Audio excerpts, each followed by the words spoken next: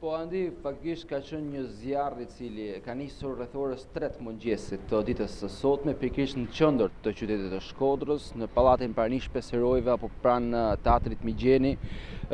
ku paktën nga sa është raportuar fillimisht ka qenë shkak një shkëndijë elektrike që ka shkaktuar përhapjen e zjarrit në katin e parë, më pas për t'u përhapur në të gjithë gjatë lartësinë e pallatit në pjesën e fasadës në vendin e ashensorit të një lokali që të ngjit në katin e njëmbëdhjetë të këtij pallati në qytetin e Shkodrës. Faktikisht, prapa krahëve të mi janë tre lokale ngjitur me njëra-tjetrën, të cilat janë shkrumbuar totalisht nga flakët e zjarrit. Kanë qenë banorë të pallatit të cilët kanë njoftuar menjëherë forcat zjarrfikëse, por ajo çfarë duhet thënë është përveç faktit që nuk ka dëme në njerëz apo banesa të përfshira në këtë pallat i cili është totalisht i banuar në qendër të qytetit të Shkodrës, duhet thënë që lajmi i mirë është që nuk ka pasur viktima në njerëz. Ndërkohë që sa i takon dëmeve materiale, dëmet janë të konsiderueshme ku në katin e parë është shkrumbuar gjithçka, ndërkohë që është jashtë funksionit edhe vendi i ashensorit. që të ngjit në katin e 11, ashensori i jashtëm i një biznesi lokali që është i vendosur pikërisht në, në këtë pallat në qendër të qytetit të Shkodrës. Pavarësisht ndërhyrjes së forcave të zjarrfikëses të cilët kanë mbërritur mbrëm apo në orët e para të mëngjesit në vendin e ngjarjes, ka qenë thuajse e pamundur të shuhet apo të shpëtohet diçka nga pjesa e asaj çfarë është djegur nga pjesa e lokaleve, por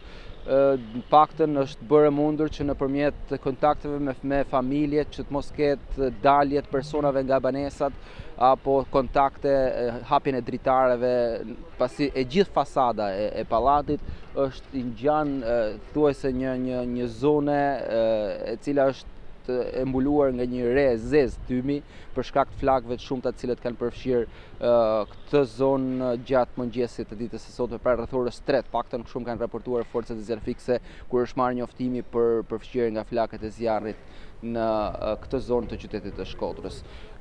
Grupi hetimor i policisë së Shkodrës ndodhet në vendin e ngjarjes së bashkë me ekspertë të forcave zjarrfikëse, të cilët do të dalin në konkluzionin e saktë se cili ka qenë shkaku i zjarrit që ka shkrumbuar tre lokalet në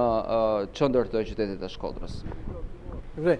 Ergjus, edhe diçka shumë shkurt, lajmi i mirë është që nuk ka pasur dëme në njerëz, por realisht ajo që kanë përjetuar banorët e atij pallati mund të ketë qenë në kufijtë e së tmerrshmes, sepse në orën tre të mëngjesit, zgjohesh i alarmuar edhe të shohësh që në në dhomën apo në kuzhinën tënde të vijë gjithë ajo le të themi flakët e zjarrit gjithë pallatin me të vërtet banorët duhet të kenë përjetuar tmerr. Absolutisht ka qenë e tmerrshme për banorët, një prej videove që më kanë nisur edhe vetë banorët të zonës që është në në redaksinë e Report Televizion dallohet momenti kur banori ka nxjerrë celularin për të filmuar atë çfarë po ndodh jashtë, është momenti kur del nga hyrja e pasme e pallatit dhe gjithë zona këtu përreth, paktën kati i parë i kësaj zona këtu, po, po, përpara, është e përfshirë, është e përfshirë nga flakët. Kanë qenë orë të tmerrshme të banorëve të këtij pallati, mos gaboj janë mbi 25 familje të cilat jetojnë në, në këtë pallat, një nga pallatet më të mëdhenj në qendër të qytetit të Shkodrës, për numrin e popullsisë, por edhe për sipërfaqen që ka në qendër të qytetit të Shkodrës. E kuptoj. Por ka marrë fund gjithçka në orët e para të mëngjesit, rreth orës 5 të mëngjesit, normalisht që ajo çfarë ato kanë përjetuar mbrëmë është tepër e rëndë. Mirë, faleminderit, Rëgjës, faleminderit për këtë komunikim.